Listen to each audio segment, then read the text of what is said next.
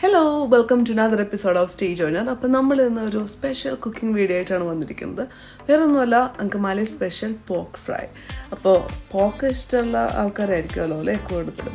നമുക്കെന്തായാലും പോക്ക് ഫ്രൈ ഭയങ്കര ഇഷ്ടമാണ് കഴിക്കാനും ഉണ്ടാക്കാനും.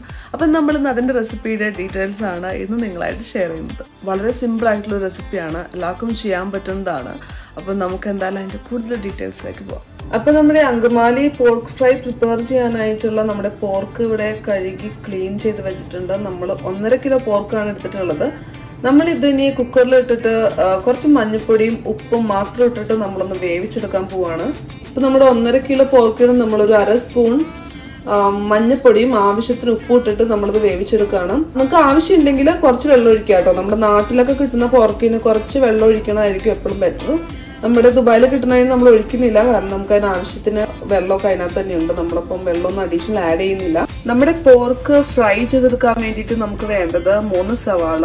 പിന്നെ ചെറിയ ഉള്ളി ആവശ്യമുണ്ടെങ്കിൽ മാത്രം എടുത്താൽ മതി കേട്ടോ നമ്മൾ എല്ലാ കറികളിലും യൂസ് ചെയ്യണ കാരണം നമ്മൾ ഇതിലെടുത്തതേ ഉള്ളൂ. പിന്നെ ഒരു അഞ്ച് പച്ചമുളക് കുറച്ച് ജിഞ്ചർ ഗാർലിക് അത് സ്ലൈസ് ആയിട്ട് അരിഞ്ഞതാണ് നമ്മൾ എടുക്കണേ. നമ്മൾ ക്രഷ് ചെയ്യുകയോ ഒന്നുമല്ല ചെയ്യണേ.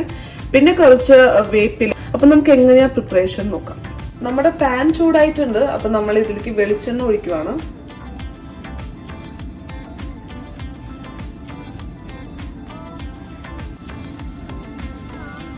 ജിഞ്ചർ ഗാർലിക് നമ്മൾ ആഡ് ചെയ്യുവാണ്.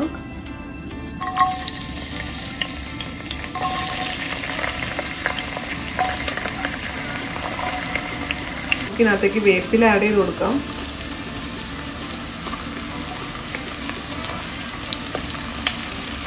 സ്ലൈസ് ചെയ്ത പച്ചമുളക് നമ്മൾ ആഡ് ചെയ്ത് കൊടുക്കുവാണ്. നമ്മൾ അരിഞ്ഞു വെച്ചേക്കണം നമ്മുടെ സവാളയും ഉള്ളിയൊക്കെ നമ്മൾ ആഡ് ചെയ്ത് കൊടുക്കുവാണ്.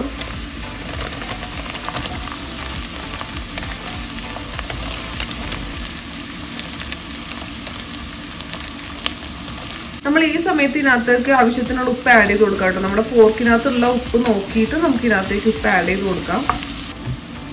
അപ്പൊ നമ്മൾ ആദ്യം ഇടുന്നത് ഒരു കാൽ ടീസ്പൂൺ മഞ്ഞൾപ്പൊടിയാണ്. അപ്പം നമ്മളിനി ഒന്നേകാൽ ടീസ്പൂൺ മല്ലിപ്പൊടി ഇടാൻ പോവാണ്.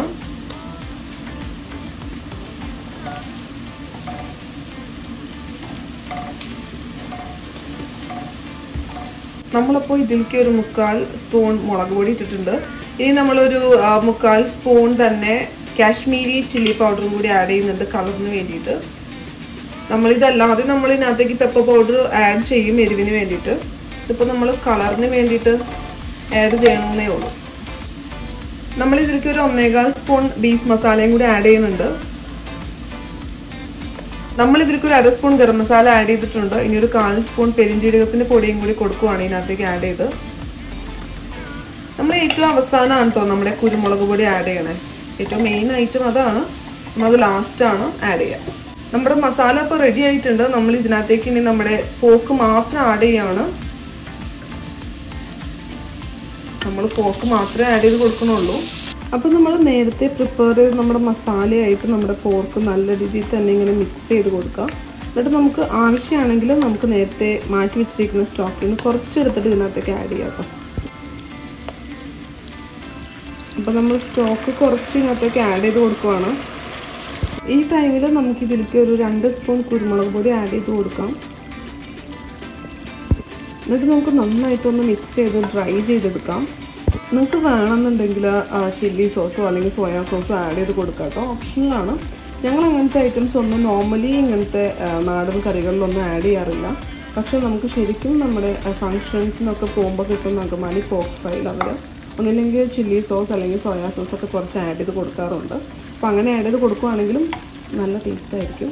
നമ്മൾ ഈ പോർക്ക് ചെയ്യുമ്പോഴേ കുറച്ച് ടൈം ഇവിടെ തന്നെ നമ്മൾ സ്പെൻഡ് ചെയ്യണം കേട്ടോ ഇങ്ങനെ ഇങ്ങനെ ഫ്രൈ ആയിട്ട് ഇങ്ങനെ വരണം. അപ്പോൾ കുറച്ച് ടൈം നമ്മൾ കിച്ചണിൽ നിന്നിട്ട് നമ്മുടെ പോർക്ക് ഇങ്ങനെ ഫ്രൈ ആക്കി ഫ്രൈ ആക്കി എടുക്കുന്നത് കുറച്ചും കൂടി ആവാനുണ്ട്. നമുക്ക് നോക്കാം. അതിലേക്ക് ഒരു രണ്ട് രണ്ട് വേപ്പിലയും പിന്നെ കുറച്ച് വെളിച്ചെണ്ണയും കൂടി ആഡ് ചെയ്യുവാണ്. എന്നിട്ട് നമ്മളത് അടച്ചു വെച്ചിട്ട് ഒരു തേർട്ടി മിനിറ്റ്സ് കഴിഞ്ഞിട്ടാണ് നമ്മളിത് യൂസ് ചെയ്യുള്ളൂ. കിഡിലൻ ടേസ്റ്റ് ആണ് കിഡിലെന്ന് പറഞ്ഞ കിഡിലൻ ടേസ്റ്റ് ആണ് എല്ലാവരും ട്രൈ ചെയ്ത് നോക്കുക.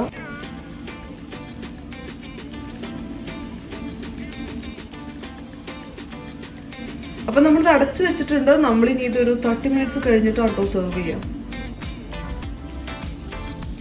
കിട്ടില്ല ഐറ്റം റെഡി ആയിട്ടുണ്ട്. എല്ലാവരും ട്രൈ ചെയ്ത് നോക്കാം കണ്ടില്ലേ? അപ്പോൾ ഇത്രയേ ഉള്ളൂ നമ്മുടെ അക്കുമാലി പോക്ക് ഫ്രൈഡ് റെസിപ്പി ഭയങ്കര സിമ്പിളാണ് എല്ലാവർക്കും പ്രിപ്പയർ ചെയ്യാൻ പറ്റുന്ന ഈസി ആയിട്ടുള്ള റെസിപ്പിയാണ് അപ്പോൾ എല്ലാവരും ട്രൈ ചെയ്ത് നോക്കുക.